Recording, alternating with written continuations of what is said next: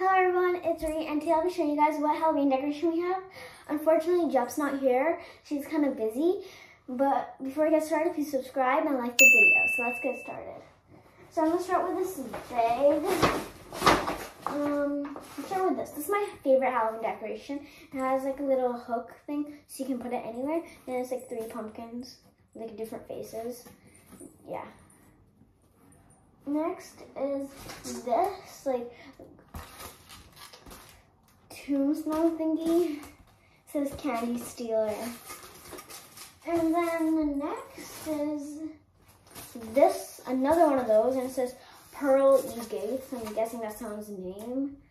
And then there's, at the bottom, there's these nail things you can just stick into the grass. And then next is this spider web with a glow-in-the-dark spider.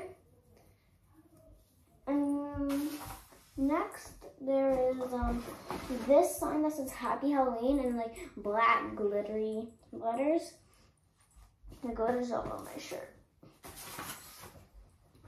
Next is uh, these lights that um, you can just like attach and they're orange so for Halloween. And then there's um, another box of those so we might put those outside or inside, we don't know yet.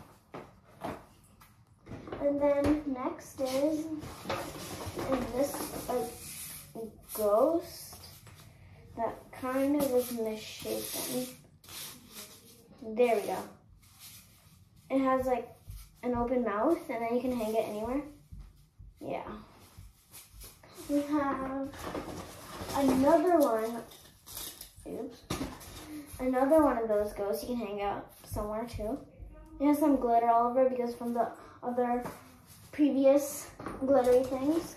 And then like one of the last things we have are like um, these mini pumpkins. This one's black with like purple and green dots on it. And then this one is silver with black lines on it and like really glittery. And then we have another one. This one is orange and like green at the top. Like it kind of looks like a real pumpkin. And then my, one of my favorite things, and like last things, is this like sitting scarecrow. Um, it has like these like papery hair, and then this like these two nice little flowers in the hair, and then a brown hat, and then like overall kind of dress, overalls dress, and then like greenish yellowish pants, and this bandana thing for the neck. And um, that's it.